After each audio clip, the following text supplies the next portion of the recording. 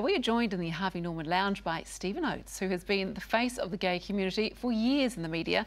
Morning, Steven. Good morning. What morning. should I say as you rolled your eyes? Uh, as Steven and, of course, Make me feel as well. old. Make me feel old. For years and years, practically last century. Decades. And Murphy as well. Yes, Murph- Murphy's a new addition, well, Yeah. kind of. So, Welcome uh, to you both. Up and coming star. So tell us a little bit about the Pride Festival. Well, it's a two-week festival, and it's uh, based here in Auckland, and I think it's about five or six years old now, Mm-hmm. and it's um, yeah, it's really going from strength to strength. It's quite full with lots of events. I mean, there's you know, there's theatre, there's gallery exhibitions, there's um, dog shows, there's debates, there's panel discussions, and of course, you know, there's the big events like the Big Gay Out, which we already had. That was in the first which weekend. Bill English went and he, Yes, he, he did went. quite well there, didn't Yes, he? did very well. Uh, traditionally, the Prime Minister has always gone, um, but you know, he's a new Prime Minister and he's feeling his way. So uh, It's election good for him. year. It is Yeah. election year. Yes, he didn't speak on stage, Right. which is the first time in a long time, but he was really engaging with the crowd. So Didn't do you any know, daggy dancing like John didn't see any Keys. Remember dancing. that? yes, yes, I totally remember that. yeah, so then uh, we're finishing up this coming weekend. We've got the big parade, and that's Yeah. on Saturday night down Ponsonby Road, which I think starts at 7:30.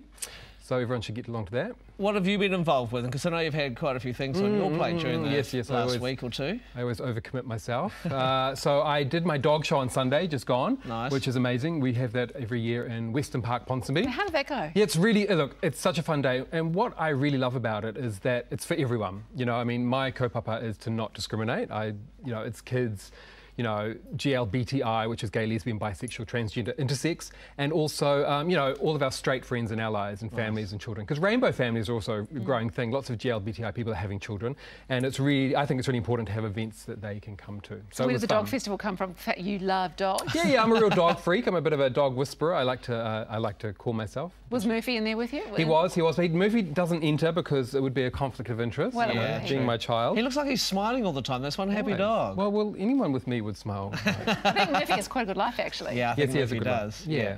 And also last night uh, I had my we had a debate, um, which is uh, Jacinda Ardern against Richard Hills, and we have lots of MPs and Urzila Carlson and Eli Matthewson, comedians, and Gilda Kirkpatrick came along from the Housewives. She I was the uh, that was she was the adjudicator, and she totally kept them all like in line. She's I wouldn't mess like with her. She's yeah, yeah. lovely, but I She is Queen. Bee. She's amazing. So um, it was fantastic, and we raised lots of money for Positive Women, which is a organisation for women living with HIV because they're often out of out of the limelight. But it's good to support them. So let's get a bit of your backstory. Can you tell us about you growing up in New Zealand? Well, I grew up in Taupo, which is Yeah. you know a small town in the middle of the uh, the North Island, and you know it was it was one of those.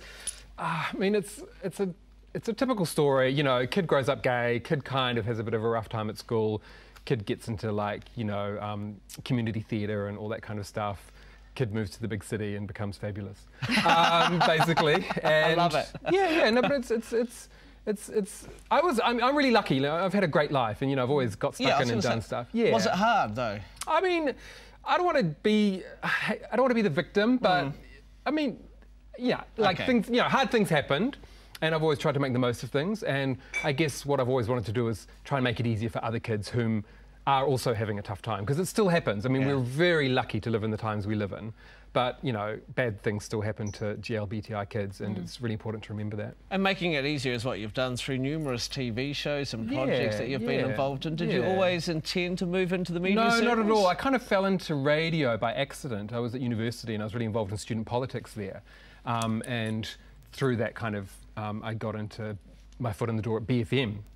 And I ended up being asked to come and do a, a radio show there, which ended up being the, uh, the, the gay and lesbian radio show. And I did that for years and years and years. We called it Round the Bend. So, anyway, then Queer Nation came knocking on my door and then Māori Television and TV1 and all these other things. But it seemed like such a long time ago. You know, I kind of, I kind of settled into like being a bit of a, a, a dog father and spending more time with my babies. I've actually got two dogs, but one's enough today. One's enough to. Definitely. No, but it's really interesting listening to you talk about that because I guess, you know, a few years ago, a lot of people were probably not that keen to put themselves out in front of the rest of the country and say, hey, look at me, I'm gay, I'm happy to be gay.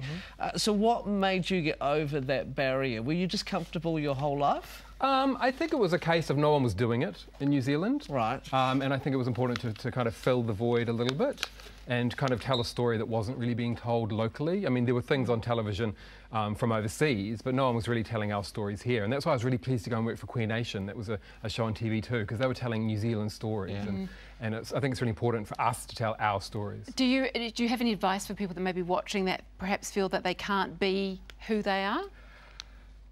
I mean, it's it's it's it's different. Everyone has their own story, and it's low. You know, who am I to tell other people what to do? All I can really say is it does get better. The bigger picture of life is that the truth will always set you free. Mm-hmm. I mean, it's very rich for me to say that because I've always an amazing supportive family. Because some people don't have supportive Mm. families, and that's where it's tough. You know, if you if mum and dad are going to kick you out of home for being, you know, gay or lesbian or transgender, bisexual, then it's, you know, I, I don't know what that's like. So mm. I don't know what their journey is, and that must be really hard. And we all have to remember that.